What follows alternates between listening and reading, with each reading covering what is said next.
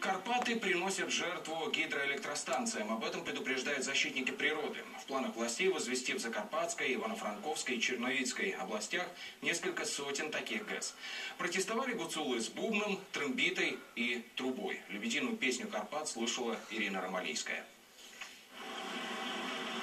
Посреди Карпатских гор, села Дземброня, должна вырасти мини-гидроэлектростанция. Но местные категорически против. ставлять греблі, будують труби, грязні труби, ми не знаємо звідки їх привезли. Якщо йде велика станція, стоїть генератор, ми ж прекрасно розуміємо, це великий механізм.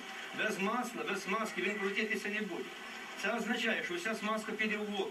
Реки в Карпатах и без того мелеют, горцы побаиваются. Так называемые деривационные ГЭС, то есть когда воду направляют по трубам, уничтожат то, что еще осталось. що якщо б, Боже, бороні якась пожежа в селі, і покладуть трубу, воду заберуть у трубу, а воду де взяти? Не такие уж станции страшные, как их рисуют, уверяют чиновники и перечисляют выгоды. По-перше, будуть значні надходження у бюджет села. А якщо буде е, з- е, зроблений такий побудований каскад ГЕС, то буде стабілізована електроенергія. Это уже под Министерством экологии бунтуют защитники карпатских рек. Для пущей убедительности принесли фотографии. Дивіться, які гарні річки, так? А що з них маємо? Вони просто сковуються в труби. У Карпатах місце тільки таким трубам.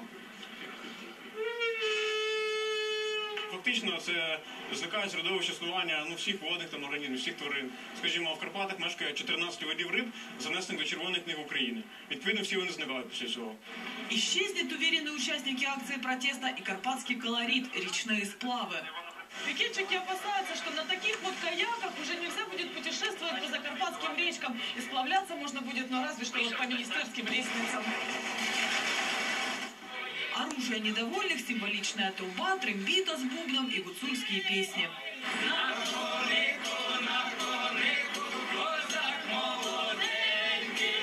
Под песенным натиском чиновники пали. Организаторов акции пригласили в кабинеты и в который раз пообещали сделают все, дабы строительство малых ГЭС остановить. Ну или приостановить, как сделали в Дземброне. Ирина Ромарийская, Наталья Фармус, Роман Рамус и Тарас Иванкив. События.